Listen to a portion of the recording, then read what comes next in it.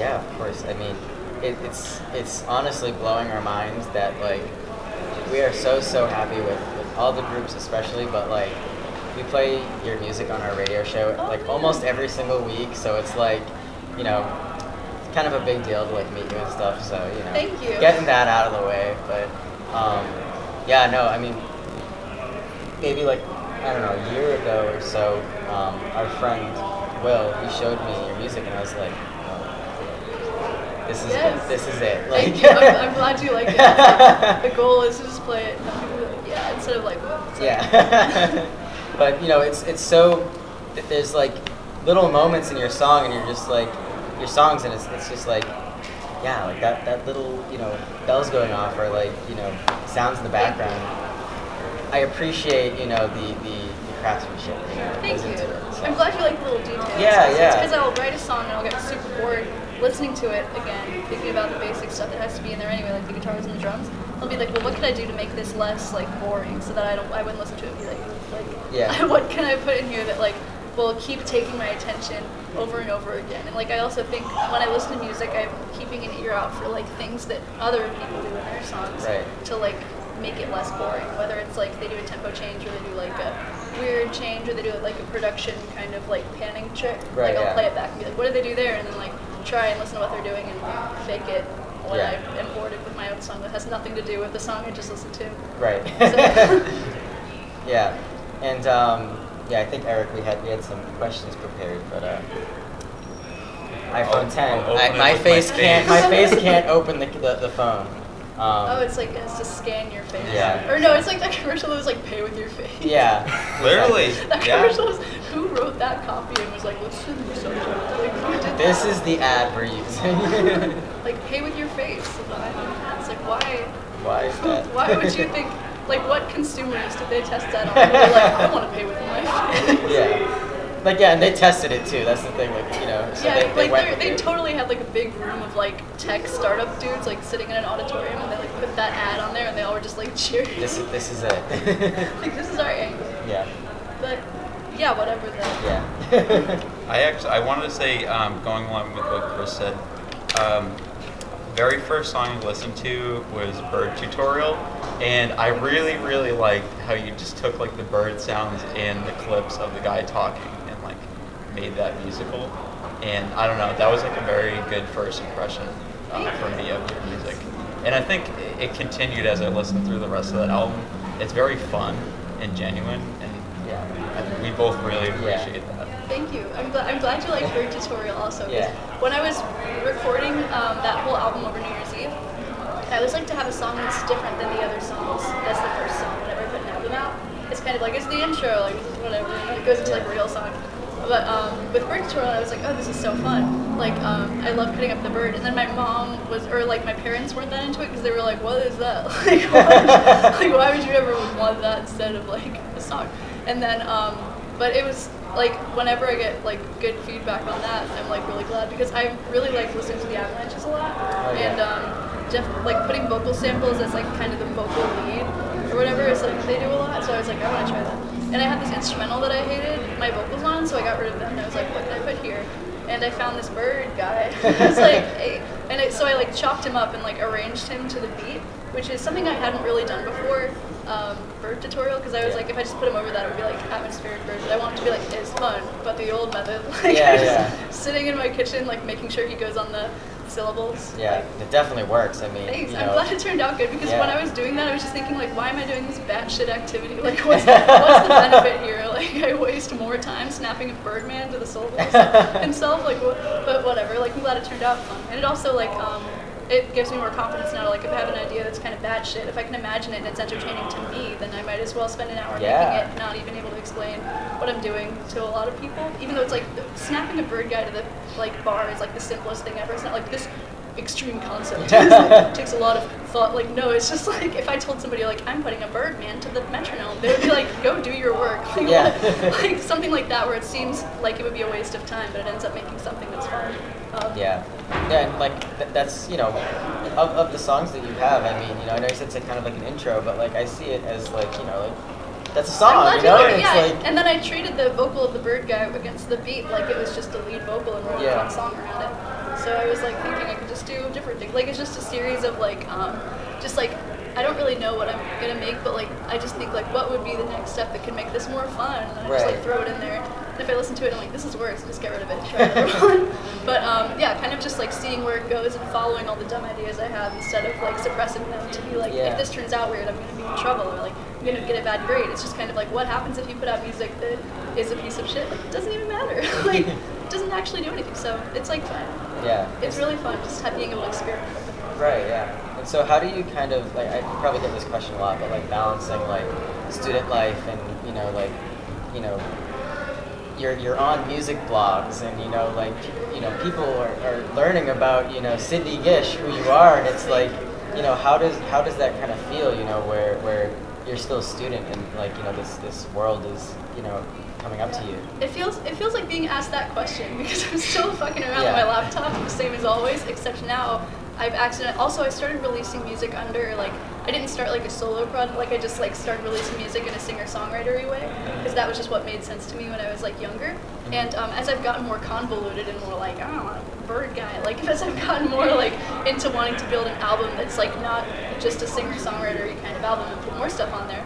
I'm thinking like, well, why am I still a singer? Or just like, why am I still this one person instead of like fucking deadmau5 with a mask hiding in the corner producing stuff and throwing it into the world and then running away? like, but um, so I just kind of am down to like, I'm trying to think of like how I can find a fun balance um, between kind of putting the focus on like the work that I'm doing instead of just like, well, here I am, like Yeah. here's me, like, because that's not it at all. Right. It's really just the fun of experimenting, and so that's how. It, and I didn't think that all the that this year would happen at all. Like, um, I couldn't have anticipated the response this year, which is also why I've been thinking more about that. But um, and also with student life, like I dropped a class this semester, like just trying my best Yeah, um, yeah. to get my degree. Um, but yeah, it's definitely a bit of a struggle, a lot of stuff to think about. But um, I definitely feel like, even though I, I just feel like I have a different set of like things to think about now than I did before. Like in my freshman year, I would be just like in class, like doodling constantly, like just freaking out. And I would, I still am gonna get this flood of stupid ideas constantly. So I want to put them to good use and make something Yeah. with them that can be beneficial to like literally anyone.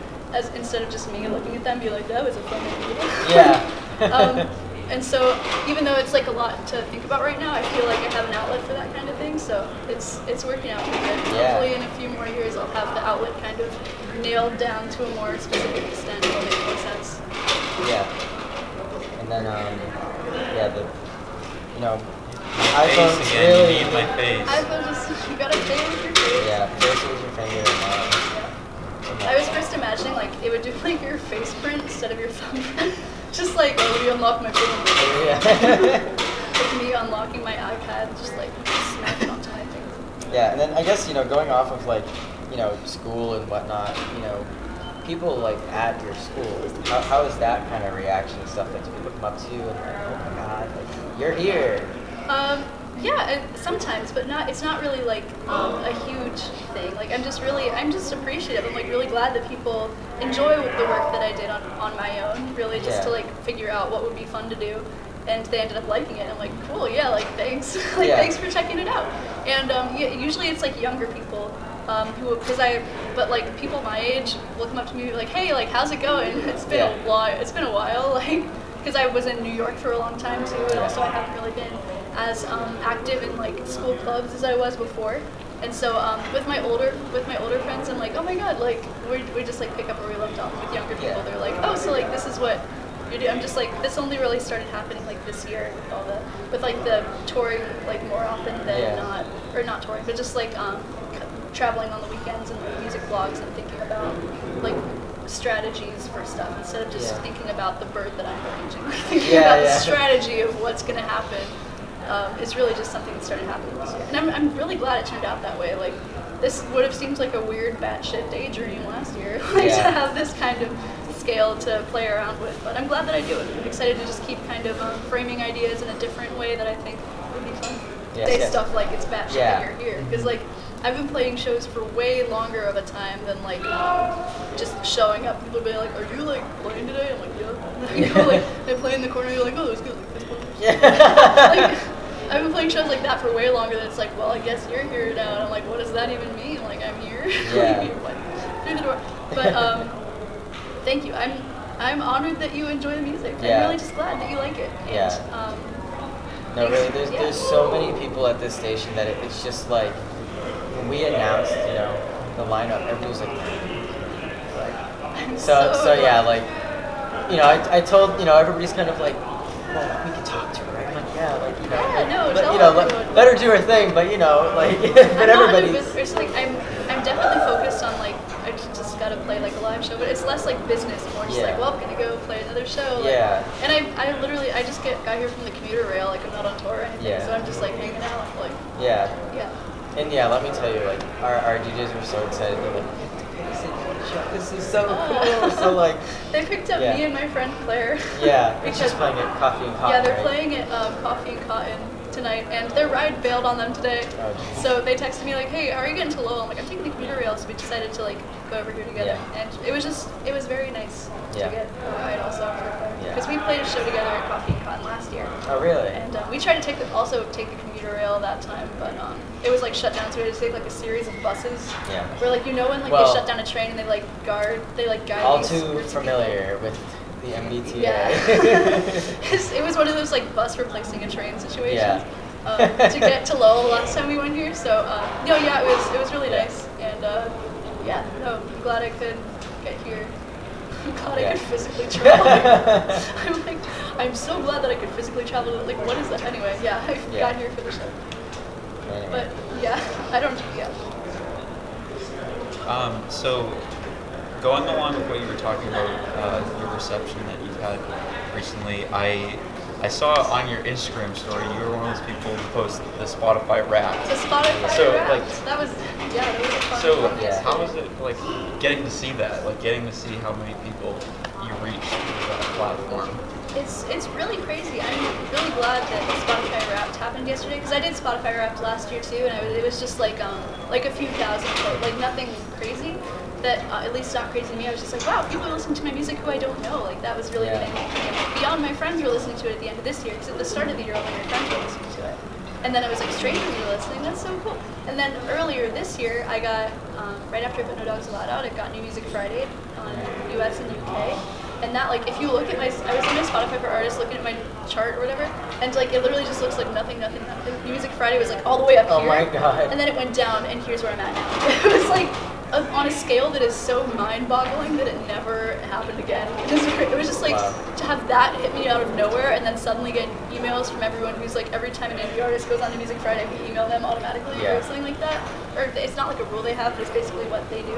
I was just like fielding like in this weird game all year, like trying to figure out like, what the fuck is going on. Like I don't know who any of you are. I just moved. Yeah, I it don't happened know just like any that. of you are. Yeah, like I moved cities, I put out a new album, and suddenly all these strangers are emailing me. And I'm like, okay, some of them I'm gonna want to work with. I don't know who some of the other ones are. And some of them are just emailing me because they're like indie artist on New Music Friday, like Yeah. equals like A&R strategy. Yeah. and like, um, I just, I don't know. I, I don't know anything about the music industry also, and I still don't.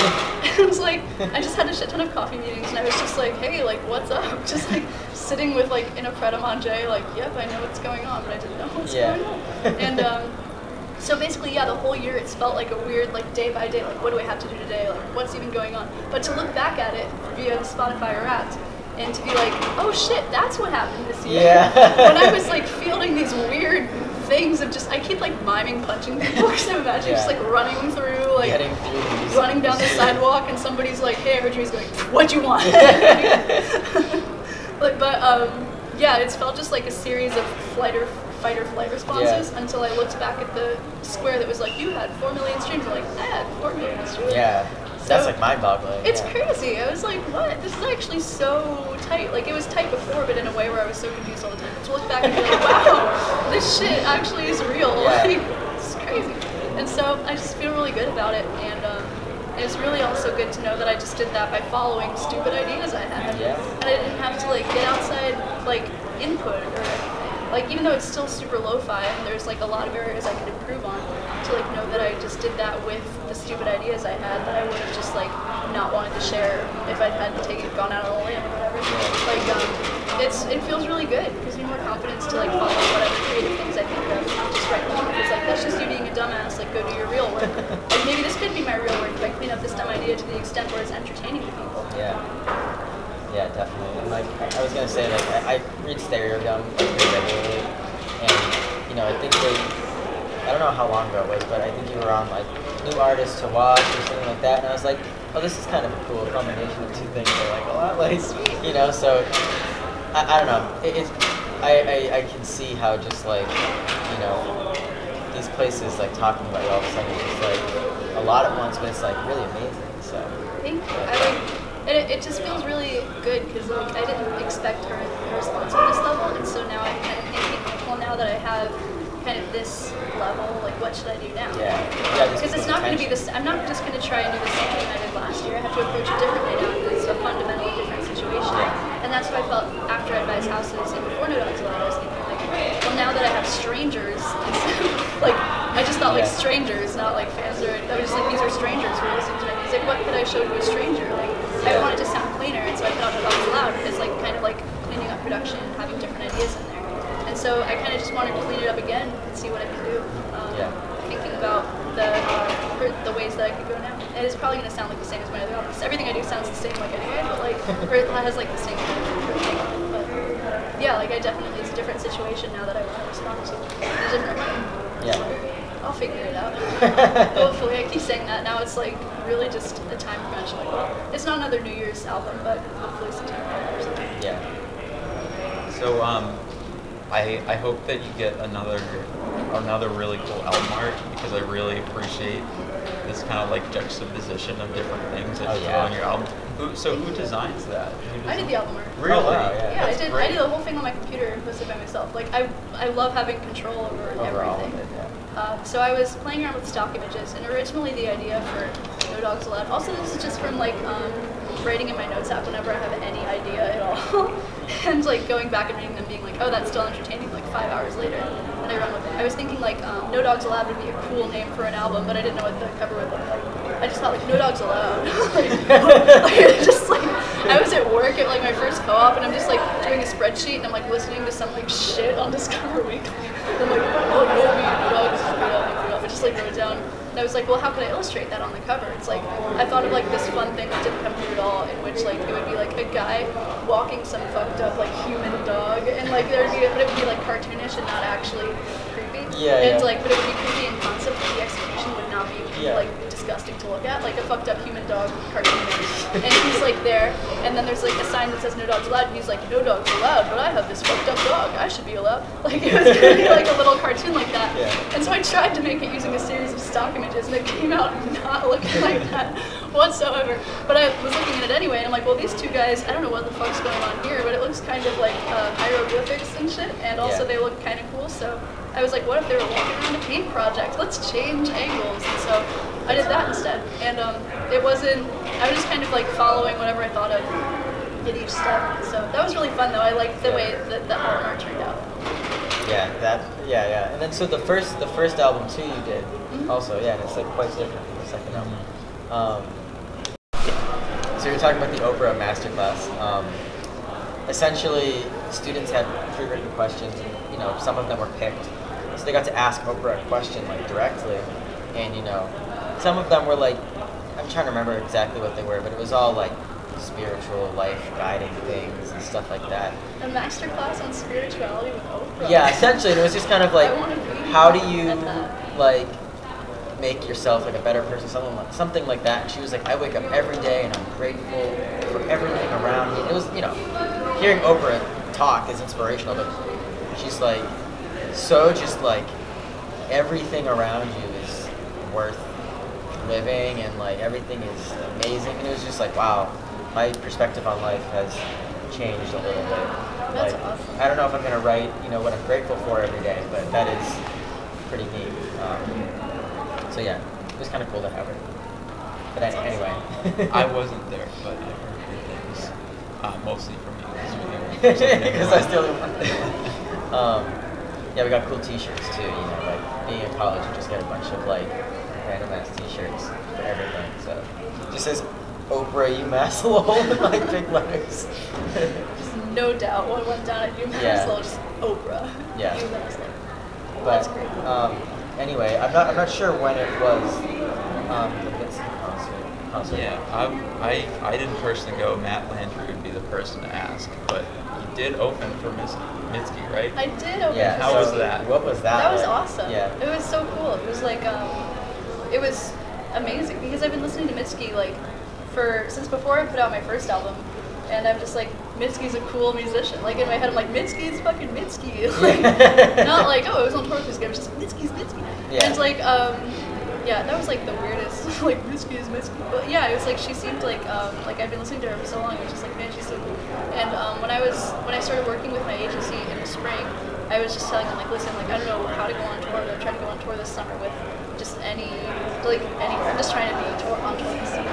And um, when the offer came through for a week long thing with, because we set, had set up Petal and Camp Cope for two and a half weeks, like, this is perfect. These bands are so cool, so nice, and like I'm ready to go on tour with them. And then when Mitski came through for like five or six days, I was like, oh shit, this is perfect because I had a free month anyway. Yeah. I was just gonna be like sitting like a chair, like in a chair, just sitting like a chair, in a chair.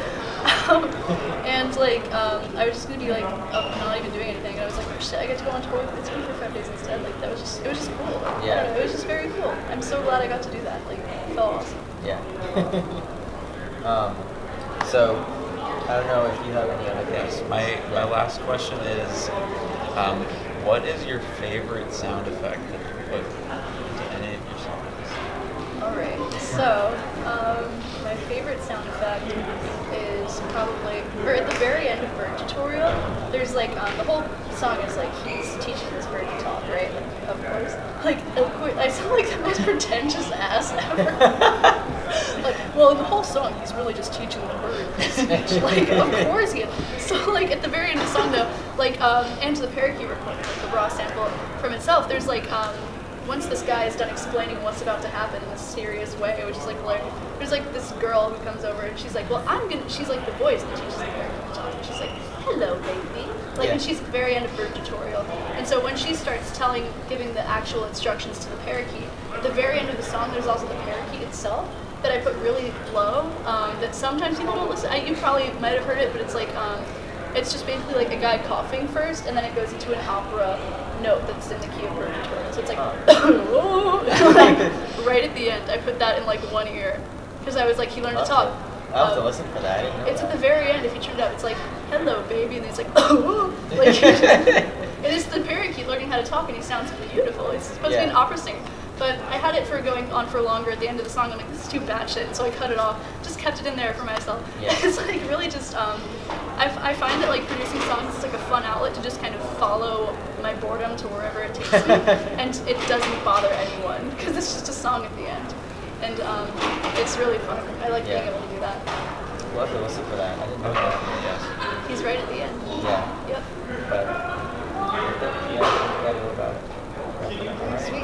you guys so much for having me. Yeah, of course, and yeah, yeah we look forward to the to the show. Yeah.